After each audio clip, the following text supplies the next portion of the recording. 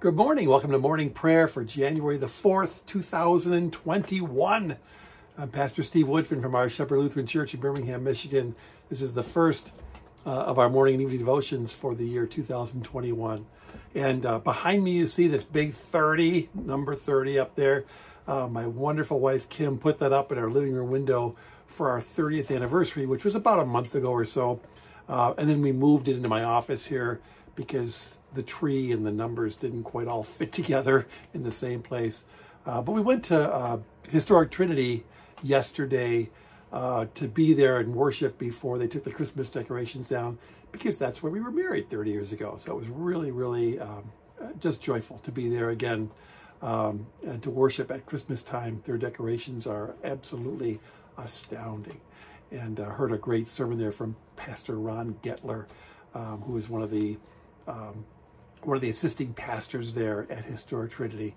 And he ended his sermon with the verse that was our theme verse for our wedding 30 years ago. So I thought that was pretty neat. I love the little coincidences that God puts into our lives to remind us that he is there, that he cares for us, and he is active in our lives too. So I'll share that verse with you in just a moment. But first, um, let's begin in the name of the Father, and the Son, and the Holy Spirit.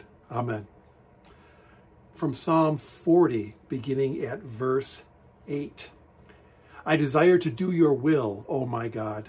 Your law is within my heart. I have told the glad news of deliverance in the great congregation. Behold, I have not restrained my lips. As you know, O Lord, I have not hidden your deliverance within my heart. I have spoken of your faithfulness and your salvation. I have not concealed your steadfast love and your faithfulness from the great congregation words of affirmation that um, that God's word is living and active, and it just kind of flows out of us uh, as we want to share that love and that, that word of salvation with the people around us. And the New Testament reading today is from Luke chapter 2, the boy Jesus in the temple. Now, Jesus' parents went to Jerusalem every year at the feast of the Passover, and when he was 12 years old, they went up according to custom. When the feast was ended, as they were returning, the boy Jesus stayed behind in Jerusalem. His parents did not know it, but supposing him to be in the group, they went a day's journey, but then they began to search for him among their relatives and acquaintances. And when they did not find him, they returned to Jerusalem, searching for him. After three days, they found him in the temple, sitting among the teachers, listening to them and asking them questions. And all who heard him were amazed at his understanding and his answers. And when his parents saw him, they were astonished. And his mother said to him, Son, why have you treated us so? Behold, your father and I have been searching for you in great distress. And he said to them, Why were you looking for me? Did you not know that I must be in my father's house? And they did not understand the saying that he spoke to them. And he went down with them and came to Nazareth and was submissive to them. And his mother treasured up all these things in her heart. And Jesus increased in wisdom and in stature and in favor with God and man. You see the, the picture of um, Jesus' focus, his foundation in his earthly life of God's word and prayer.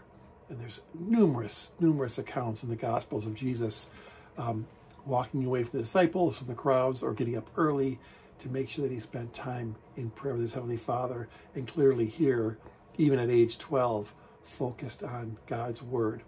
Listen to what Martin Luther says uh, about uh, how our lives should reflect that, that joyful reality, that, that foundation of Scripture and prayer. When I feel that I've become cool and joyless in prayer because of other tasks or thoughts, for the flesh and the devil always impede and obstruct prayer, I take my little psalter, hurry to my room, or if it is the day and hour for it, to the church where a congregation is assembled, and as time permits, I say quietly to myself and word for word the Ten Commandments, the Creed, and if I have time, some words of Christ or of Paul, or some Psalms, just as a child might do. It is a good thing to let prayer be the first business of the morning and the last at night. Guard yourself carefully against those false deluding ideas which tell you, wait a little while. I will pray in an hour. First, I must attend to this or that. Such thoughts get you away from prayer and into other affairs which so hold your attention and involve you that nothing comes of prayer for that day. Boy, I can identify with that exactly. Finally, mark this that you must always speak the Amen firmly. Never doubt that God, in His mercy, will surely hear you and say yes to your prayers. Never think that you are kneeling or standing alone. Now, catch this. Let me repeat that.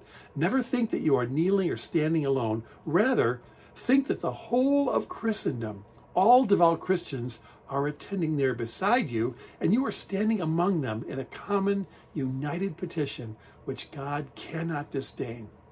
Do not leave your prayer without having said or thought, Very well, God has heard my prayer. This I know as a certainty and a truth. This is what Amen means. I love that idea that uh, when we pray alone, never think that you're actually alone, but you're praying with all of Christendom, with all of those who are part of God's kingdom, praying side by side, shoulder to shoulder.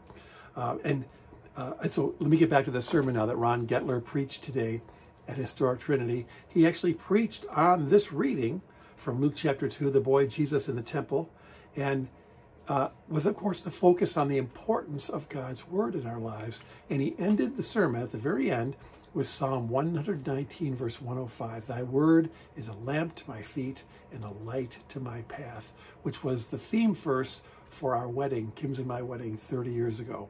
I just thought that was awesome. Just absolutely awesome to have gone down there, especially on the occasion um, of our anniversary, and then hearing that same verse again. Uh, and, and so it is true that uh, God's word, as we spend time in it, lights our path, um, gives, gives us the way to go, shows us the way we are to walk, not just in eternity, which of course would be enough, but really it illuminates our path every day of our lives.